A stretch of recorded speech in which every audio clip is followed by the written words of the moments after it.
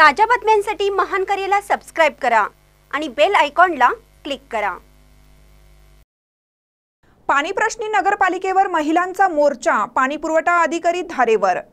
इचलक्रांची शहरातील लिंबू चौक जुना चंदूर रोड काडापुरे तळ कागवाडे मळा आदी भागात कमी दाबाने होणारा पाणी पुरवठा तसेच अनियमितता या समस्येला नागरिक कंटाळले आहेत. पाणी प्रश्नी महिलांनी नगरपालिकेवर मोर्चा काढला. पाणी पुरवठा अधिकाऱ्यांनाही महिलांनी धारेवर धरलं. गेली दहा वर्ष इचलकरांची शहराला पाण्याची समस्या भेडसावतीये.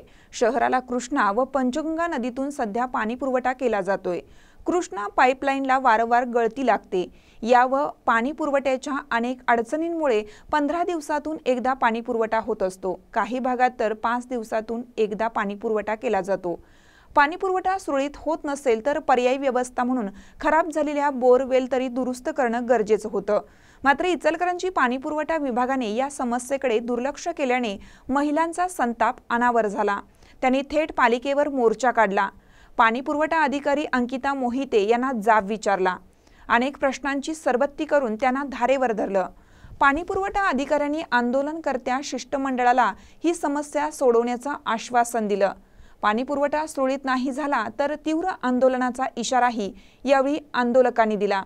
या आंदोलनात माजी नगरसेवक मोहन कुंभार चंद्रकांत लोहार सरिता कांबळे श्यामलता पाटील बिस्मिल्ला मुल्ला यांच्यासह अन्य भागातील महिला उपस्थित होत्या. महानकर न्यूजसाठी इचलकरंजीहून निखिल भिसे.